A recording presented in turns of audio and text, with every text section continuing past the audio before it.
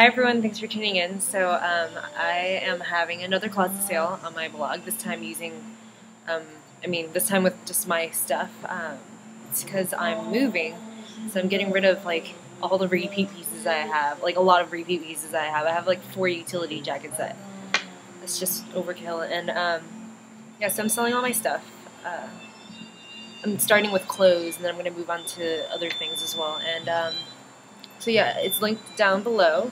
And the reason why I'm doing this is because I'm moving to New York. Um, the hat company that I've been working at for the last four years um, decided to move me to start um, doing their marketing. Um, yeah, so I'm doing that on the 16th of October, so that's in like two weeks. Very, very short notice.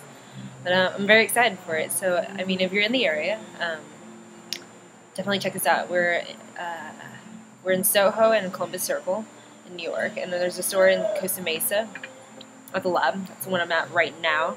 Um, yeah, just like if you like hats, show some support. Um, I linked our online store that just launched. Actually, um, my coworker Andy's uh, managing it, so check out the online store. There's some really good, good hats on there. There's like wide brim hats. There's a lot of fedoras. There's like this one killer hat that I really wanted. Um, some really good stuff, and he's updating it literally every single day. So there's going to be new hats just about every single day. And then, um, yeah, like us on Facebook if you can. I'll link it down below as well.